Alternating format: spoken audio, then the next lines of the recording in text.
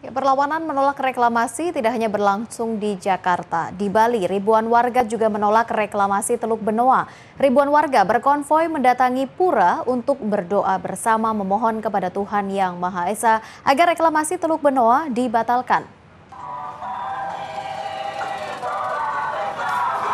Ribuan warga berkonvoi menuju Pura Sakanan yang terletak di Pulau Serangan, Kota Denpasar.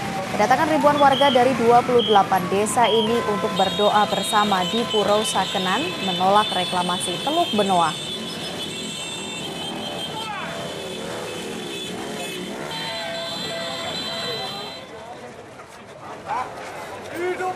Warga memohon kepada Hyang Widiwasa untuk diberi kekuatan melawan rencana reklamasi Teluk Benoa. Mereka juga berdoa agar para pemimpin dibukakan hati dan pikirannya tentang bahaya reklamasi Teluk Benoa pada alam dan lingkungan.